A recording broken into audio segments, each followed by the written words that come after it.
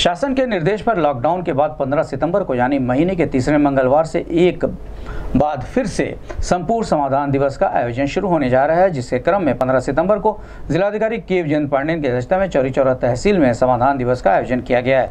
जिसके संबंध में जिलाधिकारी के जयंत पांडेन ने बताया कि तहसील दिवस में आने वाले प्रत्येक व्यक्ति के लिए मास्क लगाना आवश्यक है, सोशल डिस्टेंसिंग का पालन करना होगा। जिलाधिकारी ने कहा कि जिस भी व्यक्ति की ज़मीन संबंधित या कोई अन्य समस्या हो तो तहसील दिवस में आ सकता है। उनकी समस्याओं का समाधान किया जाएगा। इस संबंध में गौरवपुनी से बात करते हुए जिलाधिकारी के विजेंद्र पांडियन ने कहा। से हम लोग समाधान दिवस प्रारंभ कर रहे हैं जैसे आप देख ही रहे हैं, काफ़ी समय से जनता का छोटी छोटी समस्या कभी हल नहीं हो पा रही थी। राजस्व मामला का और अन्य विभाग का जुड़े हुए समस्या का। कल हमारा चोरी चोरा में होगा, वैसे रोस्टर बना लिए।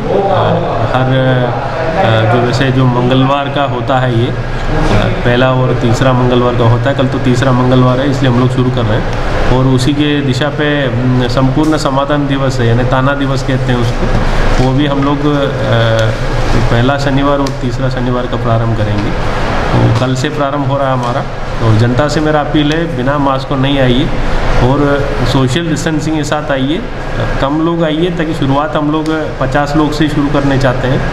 और किसका एप्लीकेशन देना है तो आकर के जमा करा सकते हैं।